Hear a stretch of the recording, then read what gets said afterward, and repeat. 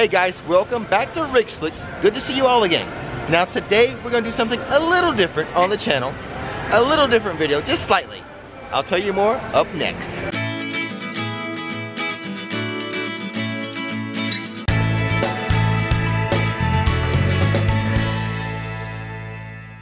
Before we begin, we publish theme park videos on this channel all the time. So hit that subscribe button and that bell notification button so you'll know when another video is ready for you to view. Now, normally on the channel, when I do a food review, it's a Rick's Quick Food Review, like two minutes. But today we're gonna try something a little different. We're gonna try to do a longer full review of Universal Studios' newest restaurant here at City Walk, Big Fire. Yay! Let's go inside and check it out. So over here by the fire pit, we have the red Adirondack chairs. Is that how you say that? Yes. Close enough. Close enough for a country boy. But Nikki is going insane. Look at the tables. The little side tables here are big rocks. Yeah, I'm totally dying to paint those. Oh my god, you should. no, no, you shouldn't. That, that might be vandalism. I was like, she so wants to paint this rock. I do. I want to paint it. Oh my God. First thing I said when Rick pointed it out, he was like, "Hey, look at those rocks," and I'm like, "Ah, I want to paint those." Maybe if Universal was smart, they would commission you to paint these rocks here. now, in full disclosure, we are filming this over a couple nights. I'm bringing Nikki one night, and then one night I'm gonna bring my girls, Caitlin and Courtney, just so we can try a wider variety, a little more of the dishes than if I, we were just here by ourselves. That's right. So here we go, Rick's not so quick food review of Big Fire. Uh-huh. Let's start with like the atmosphere, the decor. Yeah, it was great in there. It felt like where the cool kids go. Well, they have a lot, the music.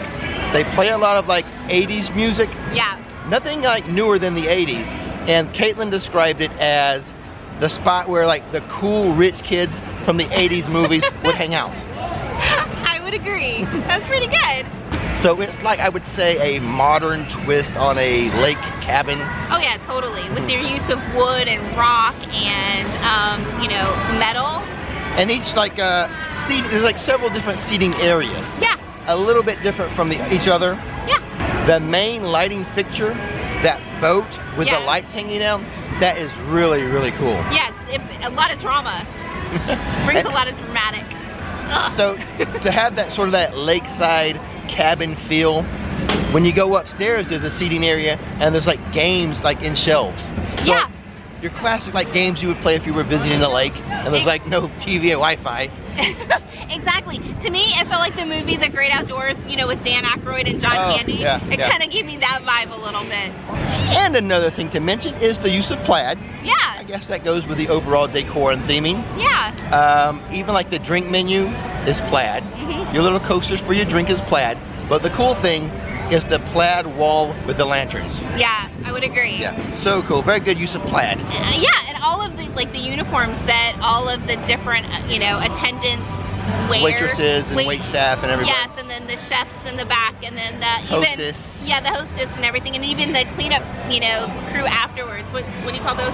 Bus boys. Bus boys and girls. Table busters. Yeah. Men and women. Anyway, um, yeah, they, they were dressed so cute. I'm like, I, I kind of want to buy from that shop.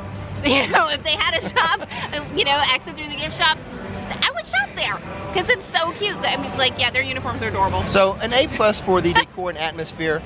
A plus plus the music. Yes. Oh, the, even like the table next to us, the lady kept commenting on every song that was coming on. Song. Oh yeah, so yeah, good good use of music, guys. Well, and the funny thing is, is I think I was singing along to every song as Yeah. well. I, I don't know if I was annoying you, but I was like dancing at Hey, my table It's the it's the place where us cool 80 kids show up, you know, hang out. That's right. Uh, one more thing before we get to the actual food, which is the most important thing about our restaurant. Exactly. Uh, they use three woods like to smoke their uh, food with, right? Yes. What are they? cherry, oak, and pecan, and then you actually asked. I asked waitress- about nut allergies. Exactly, and they said that they had done the research ahead of time, and that even though it's cooked in the smoke of A pecan wood. right, that it won't. People who have nut allergies won't suffer. Yeah, because they're not really any- ingesting like the nuts. Exactly. So, so you're all good with the pecan smoked uh, food items. yeah, you're good with that. Now, on to the food. So like I said, this was over a couple nights. Nikki with me tonight, the girls with me the other night. I know. Bonus for him, he gets to go out Let's, let's start with the appetizer you had tonight because you're kind of a connoisseur of this appetizer, the spinach artichoke dip. Yeah. Um. Okay. So I am kind of. Well, why do I have to start? Well, I will say, now you get that in a couple different places here. I do. I You get it at Confisco's I- and you like that one. I do. Your favorite of all time is in Mythos. Mythos. That was the best artichoke dip I think I've ever had in my life. And just be honest, you would say this ranks below those two. This Yeah. comes in third for you. It does, it does. I like garlic in Mhm. it and it doesn't have any. It felt a little soupy, I guess, is um, how I would describe it. So for me, it it ranks third in terms of where I get it from Yeah. and I so- would say, I would agree with the dip. Now the bread that they use, yes.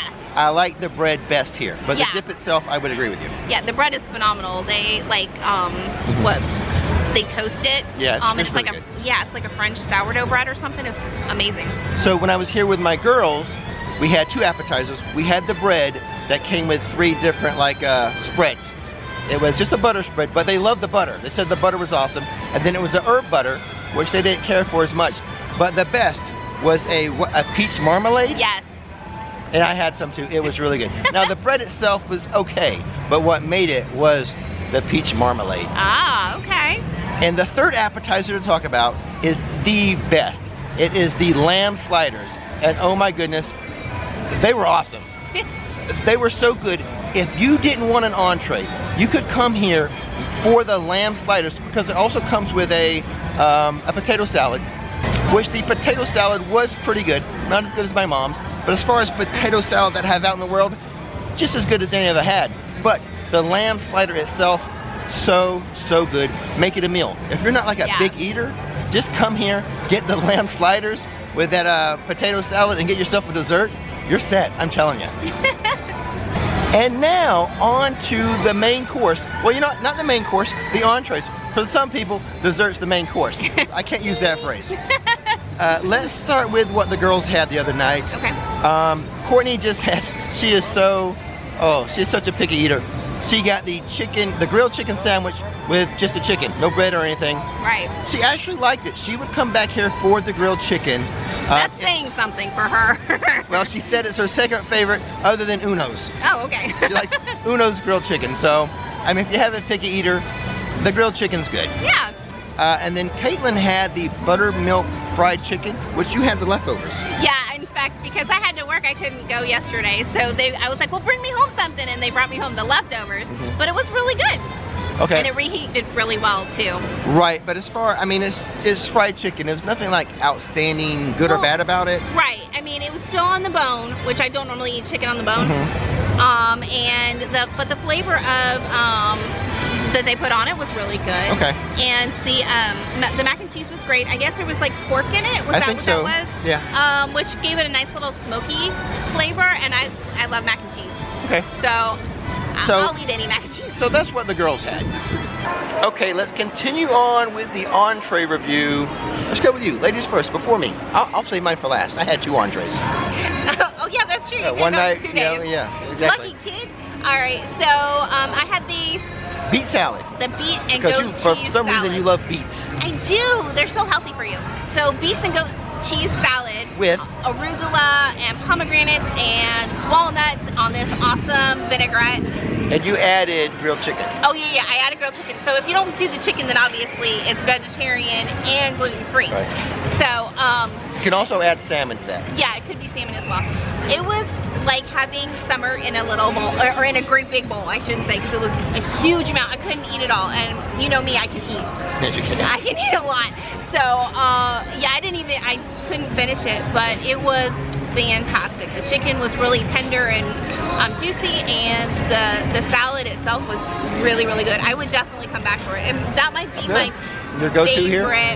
Yeah, that might be my favorite um, salad here. Oh wow. At, And like at at, Universal? all of Universal, Okay. it was good that to know. good. Good to know. Because a lot of people out there, I know you're more healthy. You're on the healthy side. Not me so much. Not all the time. Wait till you hear what we had for dessert. But no, the only thing I would change or that I wish there was a little bit more goat cheese in it. It was just like a few sprinkles. It didn't feel quite like enough of a balance, but I like goat cheese, so Okay. Okay. yeah. That's so. That's the only thing. So you would recommend that? Yeah, I totally would. Okay. Yeah. All right, now on to me. Okay. Now, life is more than hamburgers and hot dogs. really? Hot dogs? Yeah, you know, mustard only hot dogs. Um, I'm a Florida boy. Both of my entrees were seafood. Yeah. So let's start with yours. The one I had with you Okay. was the salmon. Now it came with like roasted vegetables and potatoes. The little potatoes were good. I really like those. The salmon was pretty good. I mean, it's not as good as the one I fixed myself. It's not as Honestly, mine. that Hawaiian herbs That- is, is yeah. amazing. I fix a, I fix a mean salmon. Um, say that so often. It was just pretty good. I wouldn't recommend it, I don't think. As far as like out in the real world, if you've eaten a salmon at, let's say, um, the Outback, not the Outback, Longhorn Steakhouse, I like that one better than this. Okay. Okay? Uh, just to be quite honest. Even though, I mean, it's good. You can't really go wrong with salmon. I really love salmon. But I would not come back for the salmon. Okay. How was Now. the other one? The other dish, the Yeah. barbecued shrimp, I would come back for that. Oh, I I love that so much. It was so good. It was not what I expected. Okay. Um, I was thinking of barbecue shrimp is like, you know, it's, you put barbecue sauce on, you throw it on the grill, Right, right. maybe wrap it in some bacon, something like that. it came in with this Sounds good, sauce. It came within this little sauce, and it was so, so good. Oh, and I should mention, uh, so it came with coleslaw. I don't eat coleslaw, but it came with this um, cornbread, as did the chicken. You didn't get any leftover of that, did you? No. The cornbread is really good. It's almost like eating cake. It was so moist. Ooh. So I was a little worried about the portion size of the shrimp. I thought it might be small. But when you have the filler food, uh, as my dad used to call it, like the cornbread, so, so good. I I really, really like that barbecue shrimp. So I, you'd come back for that. That I would would come back, back here. You would love it. I know you like that shrimp etouffee over there at Bubba Gump's. Oh, I do. That's my favorite. I order that every time. You would love, love, love this barbecue Ooh, shrimp. I'll have to try it next time. Cool. So, 100%, I recommend that. The salmon, I wouldn't come back for. I mean, but it's good. I mean, if you're in here, you want like a, because salmon's healthier for you. yeah. You can have it. It's fine. Uh, but if, oh, that barbecue shrimp. Ah. And now onto the main course, dessert. yes, the main course dessert.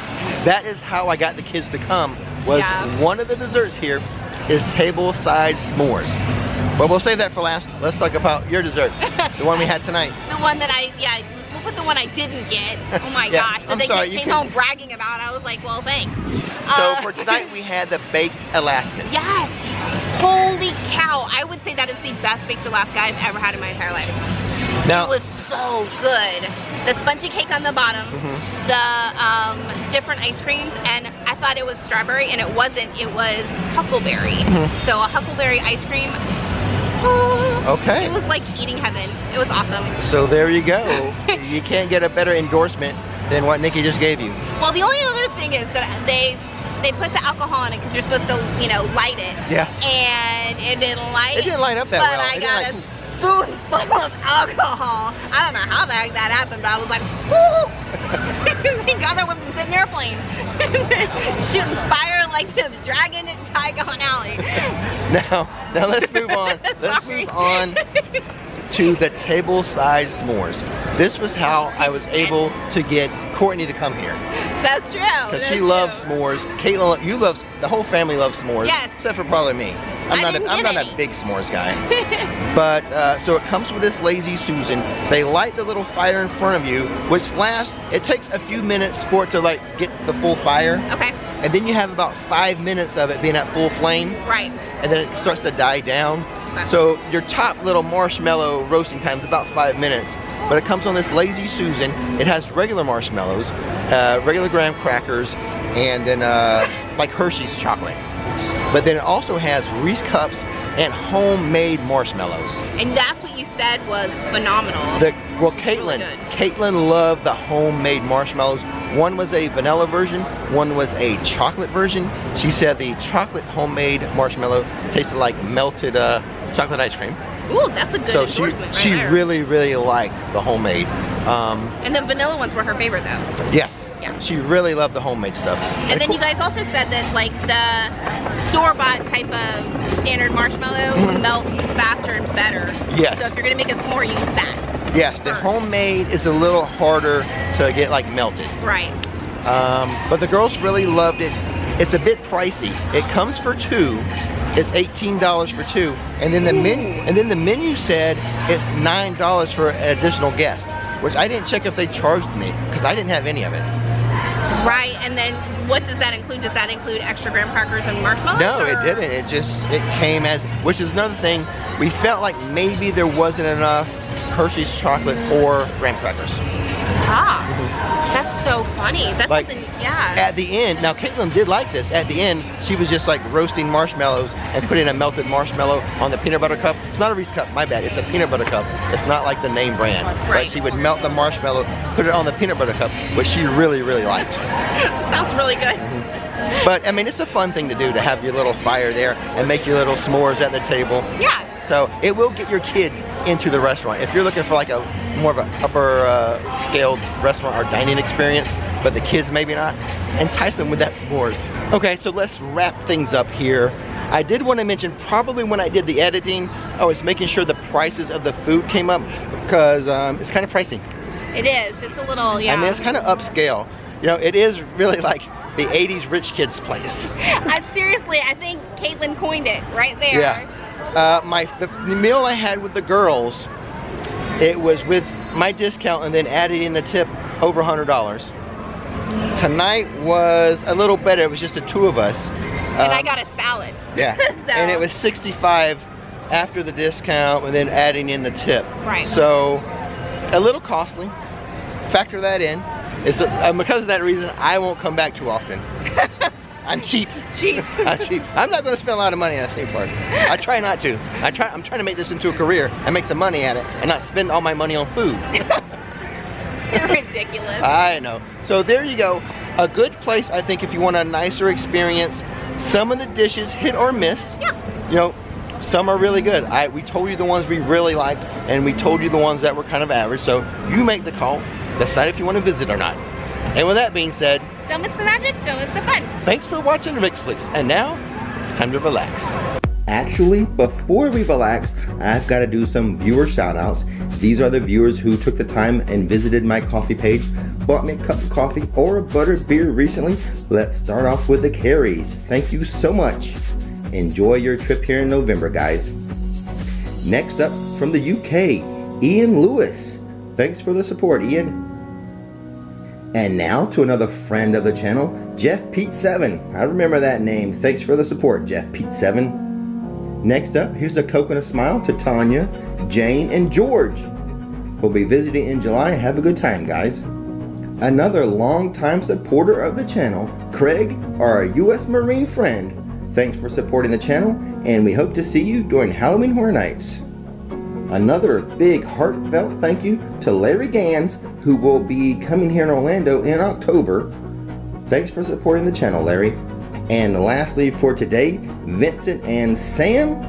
They're going to be here in April, next April, for their honeymoon. Have a good time, guys.